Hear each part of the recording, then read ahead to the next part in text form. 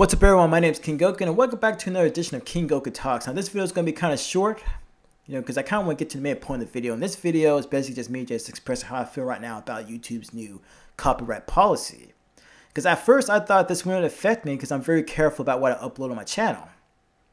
Uh, so I kind of ignored it. I'll admit right now, I, I kind of ignored it, you know, because I was like, whatever, I'm careful. I don't upload any kind of copyright stuff to my channel unless you count Naruto, but when I do Naruto, I'm doing just the game. I don't upload any clips from the actual show. I don't upload any kind of music from the show either. So I felt that um, that I was safe. Now, last night, Sheikah's Clouds, he reminded me last night about this uh, about this new policy change. So I went ahead and checked my channel to see if any of my videos got any kind of claim or strike on them. Uh, and to my surprise, they did. There was only two videos though. And uh, those two videos, you know, it was kind of shocking. Like the first one was, uh, it was one of my channel promotion videos that I made. Well, actually, I didn't make the video. The guy who who won the channel promotion, he's the guy that made the video. Um, and I did ask him not to use any uh, copyright material in the video. That means don't use any clips from Naruto. Don't don't use any music from the show. Basically, don't use any copyright material in the video. And uh, I watched the video before I uploaded it, and I asked him, "Is this is this music copyrighted?" And, and he was like, "No, it's uh it's copyright free." So I believed them, upload the video to my channel, and nothing happened. So I was like, okay, all right, it's good to go. And then last night I could I could hit with uh, match third party content for the music.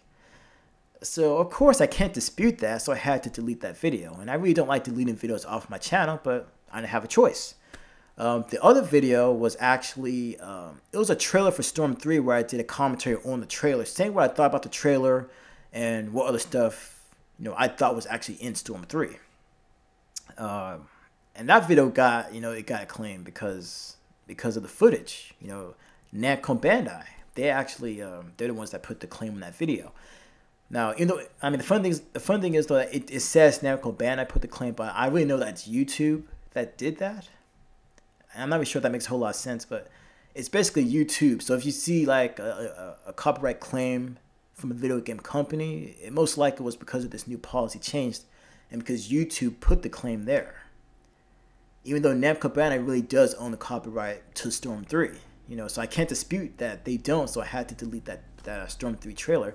Even though, you know, it was an old video, so it really didn't matter that much I had to delete it, but it was kind of shocking to see that they were able to put a claim on the video where I did a commentary. That, that was shocking. So that got me thinking, like, what's going to happen to all my other Naruto videos where I have commentary on it? Are all of them going to get hit with copyright claims from Namco Bandai because of, because I'm playing Storm 3? What's going to happen? I mean, what do you guys think is going to happen? Let me know in the comments below. Thank you guys for watching.